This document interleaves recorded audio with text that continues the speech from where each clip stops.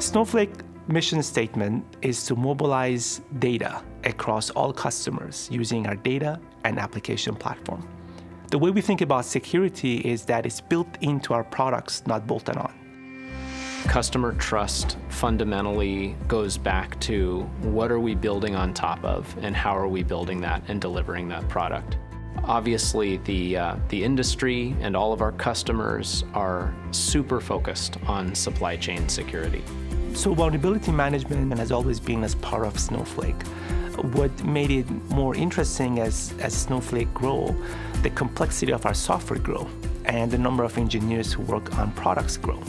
And that exponential growth in both you know, software that is being produced and engineers that are being involved made it harder and harder to come up with efficient ways to track the status of vulnerability and patch them.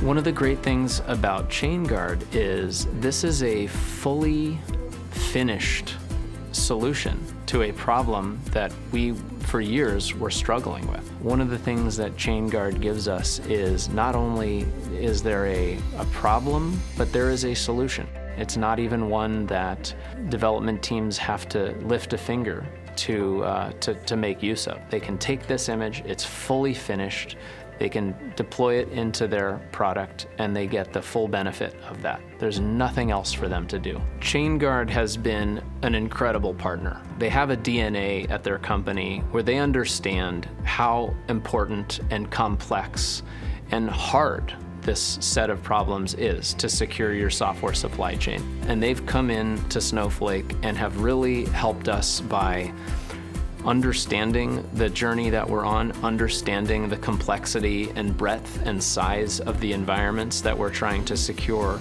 and giving us really good tools and guidance and strategies for how to, to reduce and carve up the problem and uh, be able to tackle this in, in pieces because this is a journey that is many years in the making.